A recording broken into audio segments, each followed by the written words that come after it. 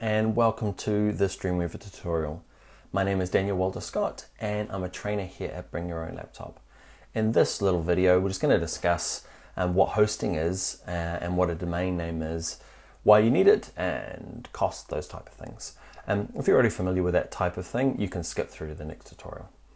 Right, so um, essentially to get your website from where it is at the moment on your desktop to our website, um, we're going to have to look at two things, domain name and hosting. So at the moment, we've got what we call a local site. That means that it only exists on our hard drive. So that's called a local website. Now, we want to move it to a remote website, which means uploading it to a host. So to have a website, you need two things, a domain name and hosting. Domain name is the little URL, so byol.com.au is one of my ones. Uh, another one is bringyourownlaptop.co.nz, bringyourownlaptop.com. They're all domain names or URLs. So you need to buy one of those. They're relatively cheap. Um, you pay, I'm paying probably, what is it about, $15 or $20 US um, per year to have these. Okay. Um, with these by themselves, they don't do a whole lot. Okay. You need these things, these domain names, to point to a host. Now the host is a slice of hard drive um, on somebody else's computer. So essentially, you've got your website residing on your hard drive, on your laptop, and you want to give it to a hosting company. They'll store it on their computer and connect this domain name to it. The nice thing about that is that they guarantee that their computer is never going to go offline. So when people search for um, they will be redirected to their slice of hard drive. Now, um, they're, yeah, so that's essentially what hosting is. They'll hold it for you on their um, computer, which is essentially called a server. Um, and yeah, it means that when people access your domain, they go off to their computer and pull up uh, your index page that they're holding for you and all the images that they're looking after for you and yeah, display them. Now, um, so picking a domain name, there's a million different ways um, to, uh, to buy a domain name. It's pretty easy. Now, my advice is whoever you buy your domain name with, try and get the hosting with them as well can be a bit of a drama setting up um, domain names from one company and hosting on the other. They both each other want to look after both services, and it sometimes can be um, a bit of a pain. So um, pick a host. Now you've got kind of three sets of hosting. I'm going to look at one of the hosts that I use. I'm going to use um, I'll use this one here, which is hosting my New Zealand site, freeparking.co.nz. Okay, now I love these guys in New Zealand. In Australia, my favorite one is I've just switched over to a company called Digital Pacific.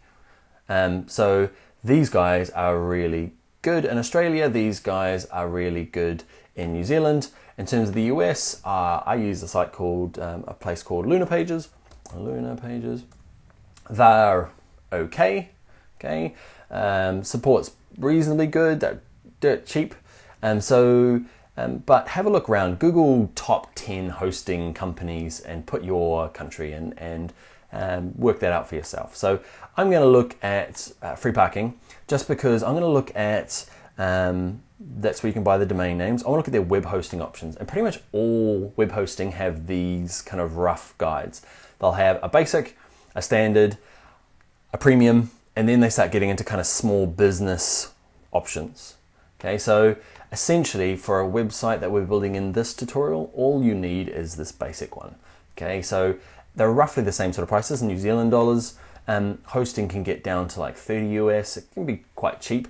Now remember, the cheaper it is, um, generally indicates um, the type of hosting you're going to get. You're going to get something called uh, virtual hosting here. So you're going to share your bit of hard drive with a bunch of other people and that can be awesome because it keeps the cost down and it can be um, painful as well because the other people that are sharing your hard drive can be um, abusing what they do running malware and storing viruses and all sorts of other things. It doesn't affect you um, essentially your website but because you're coming through the same hard drive it can slow things down okay? So and when you're getting started just start with a, a basic um, basic hosting and I'm at kind of something like this now for the two websites that I just showed you there, purely because I don't have a lot of um, database driven data. So I don't need a database for my websites. They're quite um, uh, um, front end only, okay, um, Dreamweaver created. So um, I've got this one just because I've got a few different websites hosted on the same account. Okay, but this one here will do just fine. Have a look. There'll be a basics, medium, and a premium. And you start getting to business solutions. And yeah, it really depends on what you're looking to do with your website. But if it's not getting too big and too fast, start with the basic. You can always upgrade. Once you've signed up, say I pick the saver option, you'll get an email. Okay, and that email will have something called FTP details. Now, FTP um, is the way you connect Dreamweaver to that host. So we'll go through that in the next tutorial and show you how to get your website connected from Dreamweaver on your machine to your host so that the world can see your website. Exciting.